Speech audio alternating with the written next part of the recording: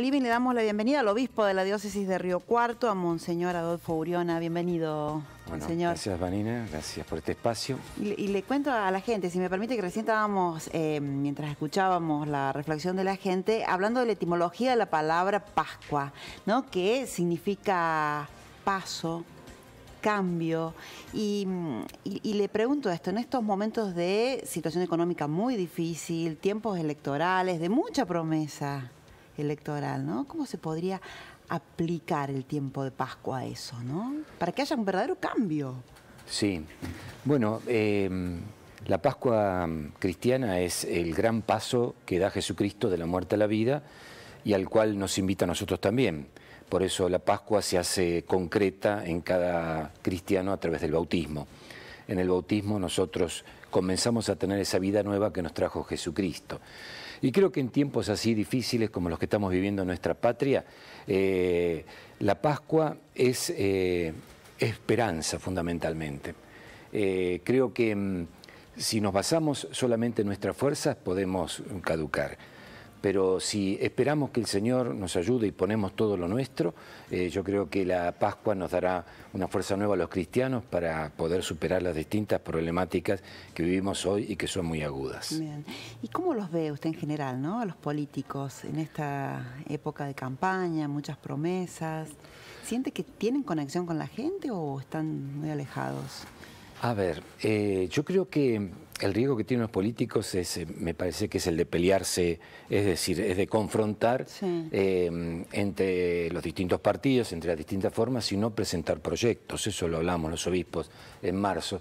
Eh, y sobre todo creo que en estos tiempos le toca enfrentar situación muy, muy clave en la Argentina, al que le toque gobernar en el próximo periodo. Por lo tanto, creo que es importante que se sienten a, a pensar en serio proyectos para salir de esta situación social en la cual vivimos. Claro, porque eso afecta a la esperanza de la gente. ¿eh? Sí, sí, sí, porque bueno, hoy, estoy hablando también con algunas personas eh, que se han acercado ahí al obispado. Eh, cuando no se tienen los medios básicos, evidentemente se, se siente y bueno, y uno puede desalentarse. Y eso que le pasa a la gente más pobre también le puede pasar a la clase media, porque también lo estamos viendo en en nuestras comunidades que gente que se acerca a decirnos, padre, no puedo pagar los impuestos. Y el tema de la inseguridad, la amenaza de la droga. Sí, son una serie de cosas que pueden llevarnos a, a batir el corazón. Mm. Por eso, para el que tiene fe, la Pascua dice, bueno, eh, me confío en el Señor que resucita porque Él ya venció la muerte, ya venció el pecado y la muerte. Creo que a mí me puede dar la fuerza para no bajar los brazos, para seguir adelante. Eh, me parece que en la Pascua 2019 tiene que plantearse de esa manera. Bien, antes de preguntarle su mensaje final de, para esta Pascua y que nos adelante algo de la humilía, eh, usted recién em, fuera de cámara me contaba que después de la Pascua, como se hace siempre, se reúnen los sacerdotes, ¿no? En una especie de retiro espiritual, no sé si está bien dicho, y que uno de los temas a tratar es el de los abusos en la iglesia, ¿no? Cerquita tuvimos el, caso de Mafini, el cura de Carnerillo. Claro.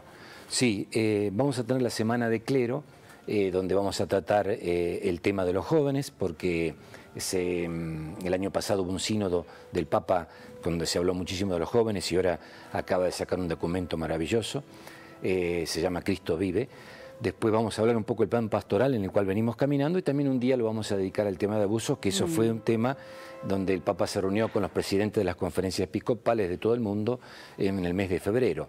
Sí, eh, ese tema está fundamentalmente orientado al tema de abuso de menores, pero bueno, eh, en toda forma de abuso la Iglesia quiere en este aspecto tener una actitud muy clara y de purificación de lo que no se hacía bien y de eh, mirar hacia adelante con otras perspectivas.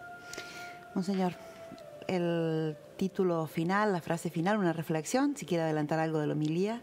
Bueno, eh, los apóstoles y, las mujeres que fueron al sepulcro eh, estaban muy desanimados porque habían visto a Jesucristo muerto, o sea que estaban en una situación de desánimo total y estaba sepultado.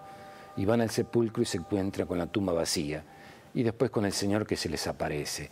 Eh, ven, el Señor es capaz de darnos esas sorpresas en medio de nuestras dificultades. Por eso que todos podamos tener una nueva esperanza en esta Pascua que se nos viene. Muchísimas gracias. ¿eh?